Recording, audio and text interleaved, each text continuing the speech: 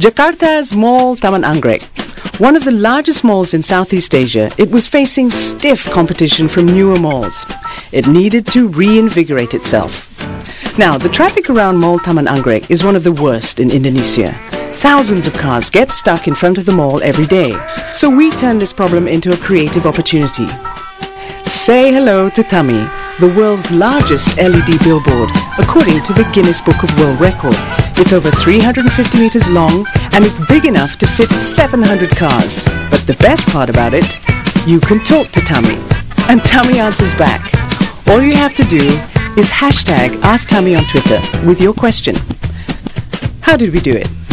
We created a content management system to pull data from Twitter and generated real-time responses.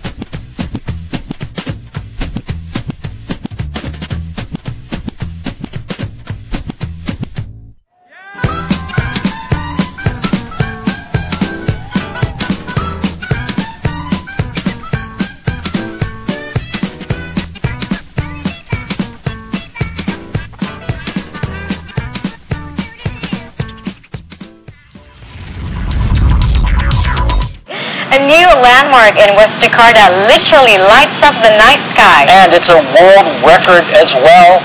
This outdoor LED screen stretches three football fields long, standing 25 meters tall. The result?